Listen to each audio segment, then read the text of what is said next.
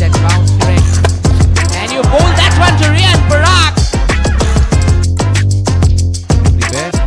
One hit away and that's it it is. And he gets in style. This man Riyan Parag can do nothing wrong. Second hundred at the BYJU'S Guwahati Premier League. Take a bow. What a phenomenal strike there from Riyan Parag getting onto his knees.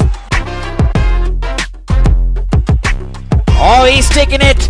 He sliced that, crunched it.